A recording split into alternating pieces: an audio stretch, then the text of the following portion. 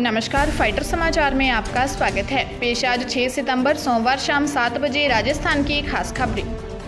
NEET परीक्षा की तारीख को बदलने की मांग कर रहे छात्रों को सुप्रीम कोर्ट से झटका लगा है। सुप्रीम कोर्ट ने छात्रों की इस याचिका को खारिज कर दिया है। कोर्ट के आदेश के बाद साफ़ हो गया है कि नीट परीक्षा अब 12 सितंबर को ही होगी। बता दें कि सीबीएसई एग्ज़ाम में अपार्टमेंट लाने वाले और जिन्होंने इम्प्रूवमेंट के लिए अप्लाई किया हुआ था, उन छात्रों की मांग थी कि नीट परीक्षा की तारीख में बदलाव किया जाए। दरअसल नीट परीक्षा वाले दिन ही सीबीएसई के इनमें से कुछ पेपर्स हैं मतलब दोनों की तारीख क्लैश हो रही है। कोर्ट की तरफ़ से जस्टिस खानविलकर ने छात्रों को टेस्टिंग एजेंसी या फिर सक्षम प्राधिकारी के सामने अपनी बात रखने को कहा है। इस तरह सीबीएसई और नीट परीक्षाओं की तारीख में टकराव को देखते हुए नीट परीक्षा टालने की मुहिम को सुप्रीम कोर्ट से निराशा ही मिली है। जयपुर ज़िले के करधनी थाना क्षेत्र से बड़ा मामला सामने आया है, जहाँ अनुकंपा में सरकारी नौकरी पाने के लिए एक शख्स की हत्या कर दी गई। मृतक के भाई ने अपनी भाभी और उसके बच्चों के खिलाफ नामजद केस दर्ज करवाया है। पहली बार तो जब पुलिस को इसकी सूचना लगी तो पुलिस को भी इस पूरे घटनाक्रम का भरोसा नहीं हुआ। बाद में जब पीड़ित पक्ष ने पुलिस को मारपीट करने के सबूत सौंपे, तब जाकर पुलिस ने हत्या की धाराओं में केस दर्ज किया। पुलिस ने बताया कि जय सिंह ने अपने भाई शक्ति सिंह की मौत के बाद केस दर्ज करवाया है। आरोप है कि भाभी और बच्चों ने भाई की जान ले ली। जय सिंह ने पुलिस को बताया कि जब भी भाई पिता से मिलने के लिए हमारे घर आते थे तो चोटों के निशान दिखाते थे। जय सिंह ने पुलिस को बताया कि शक्ति सिंह पीएनबी बैंक में थे। उनकी जगह उनकी पत्नी, उनकी बेटी को लगाना चाहती थी। जय सिंह ने मारपीट के कई फ़ोटो और वीडियो पुलिस को सौंपे हैं।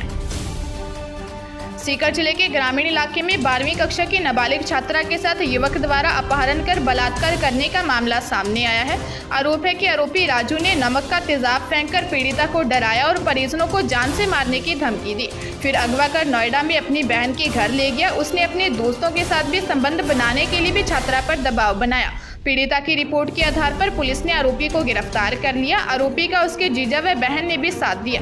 छात्रा का अपहरण कर ले जाने पर भी नोएडा निवासी बहन व बहनोई ने उसका विरोध नहीं किया और उसे घर में शरण दे दी। आरोपी का साथ देने पर अब पुलिस उसके बहन व बहनोई के खिलाफ भी कार्रवाई करने की तैयारी में है। अब सैन्य विमानों की लैंडिंग के लिए लंबी चौड़ी जमीनों की ज़रूरत नहीं पड़ रही है। एक्सप्रेसवे या हाईवे पर ही विमानों की आसानी से उतारा जा रहा है। इसी कड़ी में राजस्थान के बाड़मेर में सड़क पर ही हवाई पट्टी तैयार की गई है। बुधवार यानी 8 सितंबर को सड़क परिवहन मंत्री और रक्षा मंत्री राजनाथ सिंह इसका उद्घाटन करेंगे।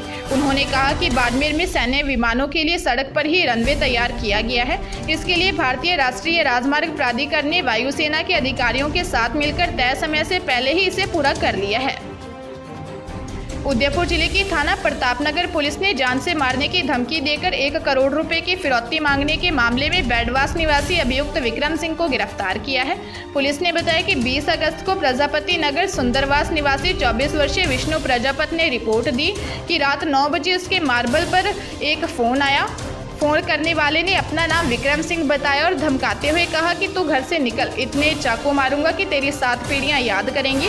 उसने तीन चार बार फ़ोन किया और अपने साथियों से भी धमकी व गाली दिलवाई। व जान से मारने की धमकी देकर कहा, सुबह ग्यारह बजे तक एक करोड़ रुपए नहीं दिए तो तेरे पूरे परिवार को जान से खत्म कर दूँगा।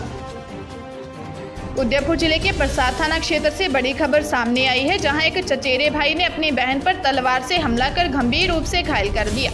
परिजनों ने युवती को अस्पताल में भर्ती करवाया है। सूचना पर पहुँची पुलिस ने बताया कि बहन के नाते जाने पर खुन्नस खाए चचेरे भाई संजय ने पिपली बी निवासी अपनी बहन रेखा पर तलवार से हमला कर दिया। पुलिस आरोपी की तलाश कर रही है। सुप्रीम कोर्ट की तरफ़ से केंद्र सरकार को फटकार लगाई गई है। इसमें सुप्रीम कोर्ट, ट्रिब्यूनल, सुधार एक्ट और नियुक्तियों में हो रही देरी को लेकर केंद्र पर बरसा है। Chief justice N V Ramana ने कहा कि हमें लगता है कि केंद्र को इस अदालत के फैसले का कोई सम्मान नहीं है।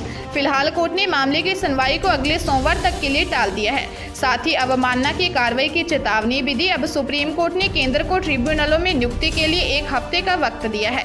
कहा है कि हमें उम्मीद है कि केंद्र नियुक्तियों के आदेश जारी करेगा। सुप्रीम कोर्ट ने कहा कि अगर केंद्र ने नियुक्तियाँ नहीं की तो अदालत आदेश जारी करेगा। चीफ जस्टिस ने कहा कि लगता है कि केंद्र को इस अदालत के फैसलों का कोई सम्मान नहीं है। केंद्र कोर्ट के धैर्य की परीक्षा ले रहा है। चीफ जस्टिस ने जजों की नियुक्ति के मामले में केंद्र सरकार की तारीफ़ भी की। बीकानेर ज़िले के श्री डूंगरगढ़ थाना क्षेत्र के गाँव उदरासर में कोरोना के बाद से लॉकडाउन में युवक पवन का बिज़नेस इतना तबाह किया कि आर्थिक संकट में आ गया। पिछले कुछ समय से गाँव में रह रहे इस युवक ने आर्थिक तंगी के चलते सुसाइड कर लिया। पुलिस ने बताया कि पवन ब्राह्मण दूसरे शहर में बिज़नेस करता था।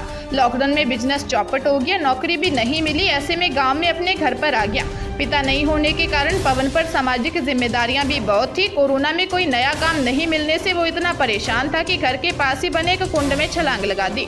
पुलिस ने शव का पोस्टमार्टम करवाकर शव परिजनों को सौंप दिया। अलवर ज़िले के किशनगढ़ बास थाना क्षेत्र में फ्रॉड कर महिला के बैंक खाते से निन्यानवे हज़ार चार सौ सतासी रुपये पार करने का मामला सामने आया है। पुलिस ने बताया कि पीड़िता के बेटे ने थाने में रिपोर्ट देते हुए बताया कि उसकी माता के मोबाइल पर एसएमएस आया था। एसएमएस पर क्लिक करने के बाद बैंक खाते से रुपए गायब हो गए। पुलिस ने मामला दर्ज कर जाँच शुरू कर दी है। जालोर ज़िले के रानीवाड़ा थाना क्षेत्र में अपने पीहर से दो दिन पहले लापता हुई विवाहिता का शव मिलने से सनसनी फैल गई। सूचना पर पहुँची पुलिस ने शव को अस्पताल की मोर्चरी में रखवाया है। पुलिस ने बताया कि विवाहिता का शव वनधर बाँध के बहाव क्षेत्र में झाड़ियों में मिला है। परिजनों ने दांतवाड़ा गाँव के एक युवक पर हत्या की आशंका जताई है। पुलिस मामले की जाँच में जुट गई है।